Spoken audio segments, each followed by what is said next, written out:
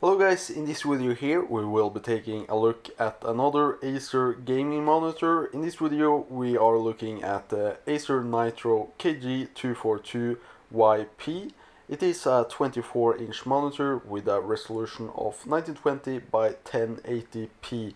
So it's been a long time since I've used a 24 inch display and a resolution of only 1080p but I've been really enjoying using this screen now testing it in a few different games and such and I've been really liking it so keeping it short and if you don't want to watch the whole video I can absolutely recommend you this product if you get it at the right price and you think it fits your uh, needs. Uh, so some of the reasons why I really enjoy it is because of the IPS display. It just gives you nice and rich colors so gaming and such gives you a nice experience when it comes to the environments. All of the colors and such really pop on this monitor here. So for being an IPS display this monitor here got a high updating frequency of 165 Hz which is more than enough for me and 165 Hz is fairly high for being an IPS display also. For me personally everything over 100 Hz I can't really tell the difference but somebody will but 165 hertz that is still very high for those competitive players.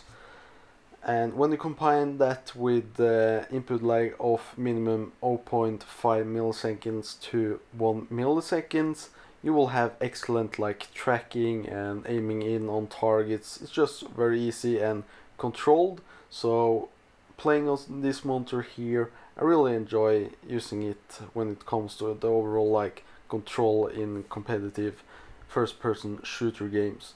So the only downside with this IPS display is the contrast ratio of 1 to 1000 but for me that is not really a problem.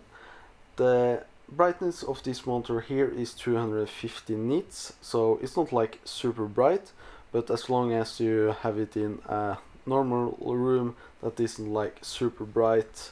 I don't really see that big of an issue but if you compare it side to side to like a higher uh, luminance or nits screen you will see the difference and it will look a little bit more dull.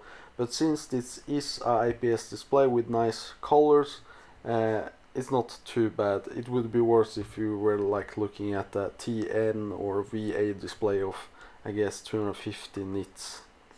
So the overall look of this monitor here also looks fairly good and you got two HDMI uh, 2.0 inputs and also DisplayPort and the aux out and you also got the built-in speakers which I really like if I don't really want to put on like a headset if I'm just gonna watch some videos or like news on this monitor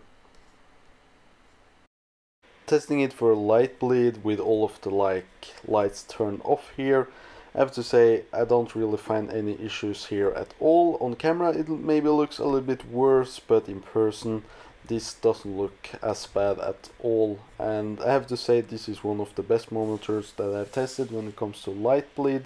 So I think they got their design and production right with this monitor. So testing with ghosting and such I've now filmed and turn down the speed of the recording. We can see that the image stays very nice and clear thanks to the high update frequency. And I have to say we don't really see any ghosting at all. So uh, I have to say when it comes to ghosting and such and the overall updating frequency this monitor here is very good and it provides you very nice and clear images. So we will have easier time like tracking targets. So the monitor is only 215 nits, which isn't very much, but we can see here in a fairly well lit room, we have natural light shining in, um, one light source here in the roof, I put it to max and we also have these spots up here, and I have to say, it isn't really an issue for me all of the colors and such are really nice and bright so even though it isn't like the uh, brightest monitor I think it's fine. So here I'm testing the screen against the Acer Predator 273 UGS um, so the screen here is 250 nits and as I talked it isn't the most and brightest and we can see a little bit of a difference to this uh, 273 monitor it is 400 nits. So yeah when looking at side to side there is a slight difference. This here is a little bit more dull since it's under 250 nits. And this is of course brighter. So it is not as bright but 250 nits for me uh, at the desktop and not like a laptop I would say it's fine even though I would prefer a higher brightness but for the price I think it's still uh, pretty nice.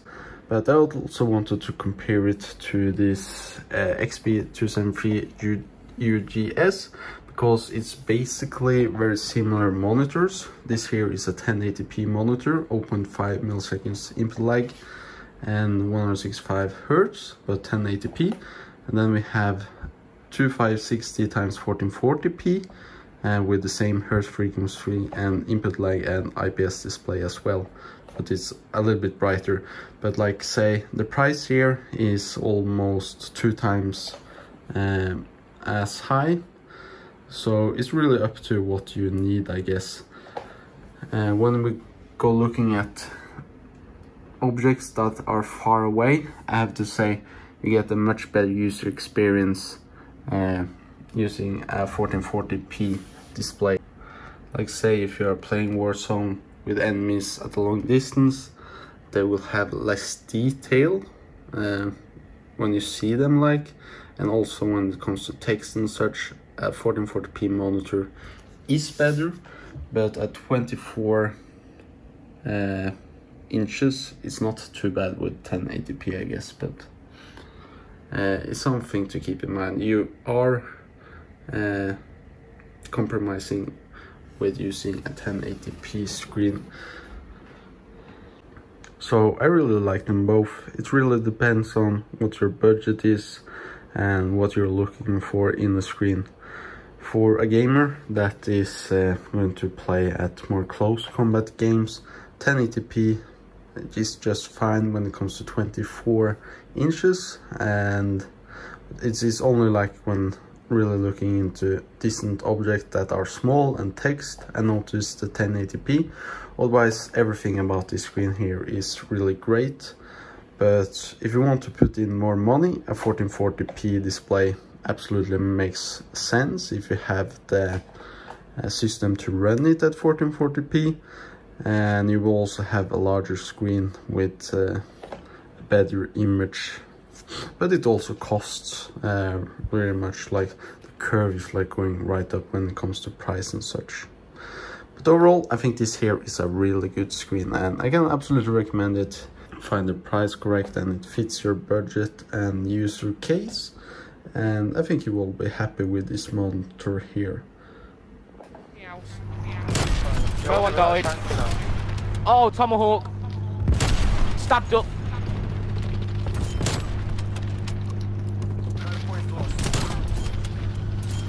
Nah, this is hectic, bro.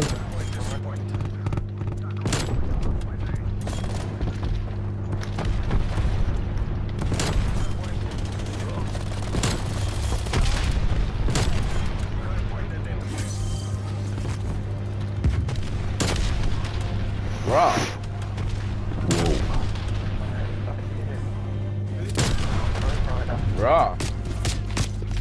Raw. Hostile spy plane established overhead. Hardpoint located. Hardpoint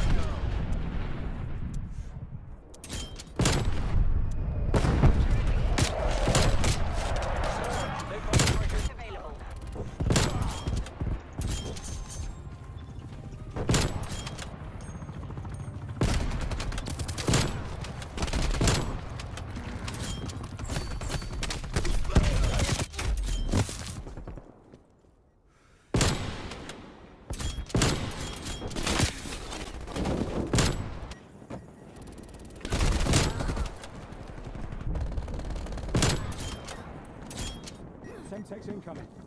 We're pulling ahead.